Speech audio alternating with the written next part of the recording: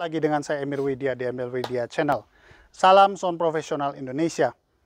Kita lanjutkan, kita melihat Vera 36 yang dirakit dengan cara tidak benar. Di hadapan saya ada timbangan. Mari kita timbang. Uh, kita mulai dulu dari yang tadi saya hancurkan. Kita lihat ya berapa. Ah, ah begini.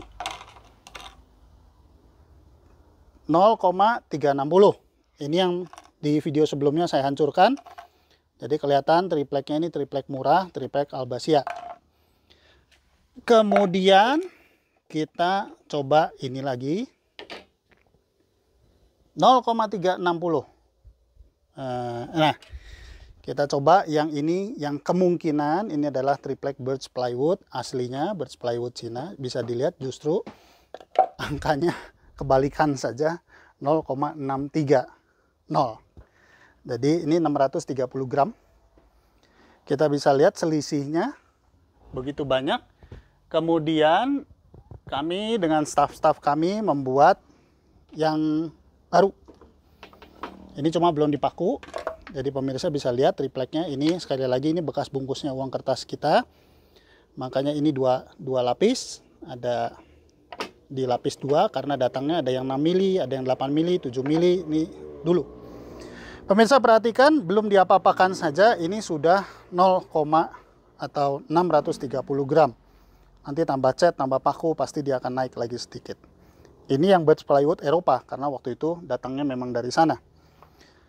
Pemirsa bisa saksikan sendiri ini yang oh yang ini ya kalau kalau kita sigmat sekali lagi ya kalau kita sigmat di sini harusnya terbalik nanti pemirsa tidak bisa lihat. Harusnya 12,4 ya 12,4 lah begitu. Tapi lihat yang ini. 16,4 kenapa? Karena ini tidak rapat. Ya ini ini tidak rapat. Bagian ininya nih jadi jadi ini adalah perkara-perkara kecil yang orang tidak pernah perhatikan padahal barangnya mahal.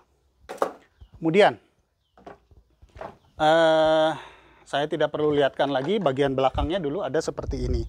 Bentuk seperti ini yang kita custom. Dulu yang ini tidak dibuat seperti ini. Bagian belakang untuk dudukan daripada komponen 8 inch-nya. Ini face plug 8 inch-nya. Ini ada di bagian belakang saya mau pemirsa dengarkan daripada suara kayunya. Oke. Saya pakai mikrofon ukur di sini. Mudah-mudahan kedengeran. Ini yang aslinya.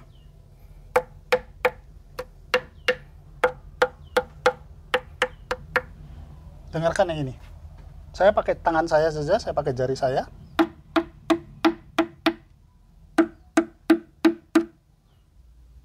Ada lagi yang seperti bolong kayunya. Dengarkan ini bagian dalamnya. Ya, coba kamera mungkin bisa sorot. Ini yang saya ketuk. Eh, jari saya mulai sakit. Dengarkan ini.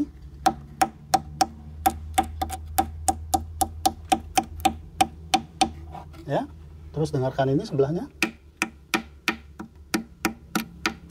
Berbeda dengan ini. Jadi speaker ini mahal. 5.600. Box ini mahal. 5.600. Dengan hanya saya berharap saya bisa untung 200.000 ternyata kita buntung. Tidak apa-apa. Yang penting bagi saya, saya tidak mengecewakan konsumen saya. Saya tidak mengecewakan mereka. Uh, jangan sekali lagi, jangan tanya saya siapa yang merakit ini. Siapa yang merakit ini. Jangan tanya saya, karena itu bukan urusan saya. Hanya saja dalam perkara ini saya yang kena kasus seperti ini. Saya yang harusnya untung, saya yang rugi. Tidak masalah. Karena selama bertahun-tahun kami membuat box, selama 11 tahun ini kami membuat box, selalu kami bertanggung jawab kepada konsumen kami. Kami bukan orang yang taruh begini, oh ya sudah, kamu sudah beli box, tinggal. Tapi kami bertanggung jawab, untung saya dulu seperti pemulung. Jangan dibuang pak, ini kayu mahal begini dan begitu. Ini kami simpan, ternyata Tuhan bermaksud lain. Ini untuk orang lain. Di, saya masih punya bahan-bahannya. Ya, nah, apa lagi? Ini ada yang bautnya tidak bisa dibuka, bahkan ini tidak bisa kami buka, macet di sini. Oh, yang tadi yang lebih besar. Nah, ini. Kalau ini saya masukkan ke dalam sini, ini sangat seret. Pemirsa bisa perhatikan box ini melendung. Box ini melendung. Ya, ini ini kelihatan dia sudah melendung dari sini. Begitu saya paksa demikian. Kalau saya wah ini nah, saya paksa lepas lagi baru dia bisa rapat lagi. Jadi eh, kami membuat box bukan untuk memaksa, tapi kami membuat box karena kami memang punya uh, apa punya rasa ingin memberikan sesuatu yang berkualitas kepada konsumen kami. Kemudian kalau pemirsa dengar ini, saya kasih mikrofon saya yang untuk ukur. Pemirsa dengarkan suaranya. Wah, kayak saya lagi ngamplas.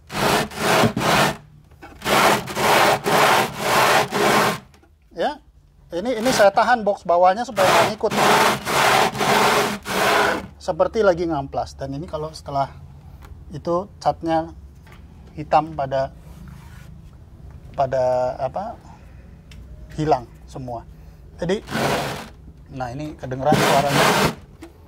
Jadi pemirsa sekali lagi kami mencari produk yang berkualitas. Kami menjual yang berkualitas tapi bukan yang seperti ini. Jadi ini mohon maaf kepada pemesannya. Saya juga tidak perlu sebutkan siapa. Kami akan merestorasinya dahulu sebelum kami jual. Mohon maaf. Kami ingin memberikan yang terbaik kepada orang yang membeli tapi eh, apa boleh buat kami tidak mau membuyarkan mimpi orang juga. Demikian saya harap ini menyelesaikan banyak masalah yang sebelumnya kelihatannya rame sekali. Dan uh, saya tidak menyebut siapa pun, tapi ini jadi pelajaran buat kita semua bahwa membuat box itu tidak mudah. 11 tahun kami menangis karena membuat box mesin yang tidak akurat. Jadi kalau saya mau perlihatkan, mohon maaf juga pada pemirsa kalau kami punya mesin baru ganti, sekalipun baru ganti juga belum tentu bisa jalan akurat sekali. Jadi kalau pemirsa perhatikan di sini ya, ini hasil mesin kami yang baru, bukan mesin yang besar, yang hebat, tapi ini sudah bisa kita pakai. Yang hebat itu adalah tukang kayu yang merakitnya. Kembali lagi, kelihatan dari sini bahwa tukang kayu yang merakitnya yang hebat ya masih ada sedikit yang meleset-meleset tapi saya rasa uh, kami akan teliti lagi di bagian yang merakit tukang kayu kami sudah tua. Mereka-mereka sudah tua tapi sudah ikut dengan saya belasan tahun.